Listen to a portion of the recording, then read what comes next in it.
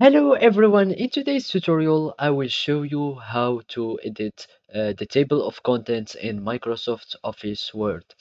So the first step that you have to do is to open your document that contains uh, that contains uh, the pages and the text.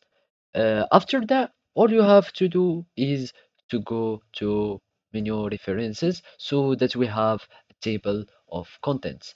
It's just uh, choose uh, any table of contents from here.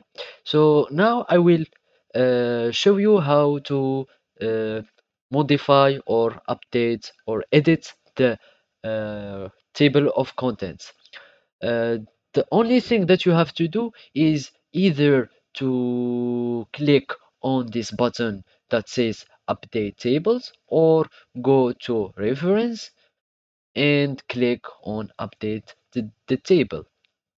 It will ask you if you want to update the entire uh, table or the numbers uh, in case you edited the other uh, pages.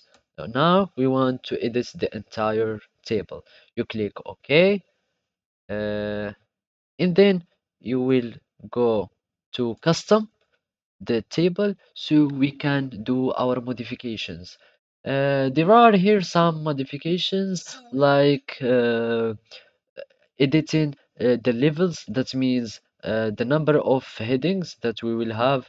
Uh, as you can see when we click just on two now we have in just two headings.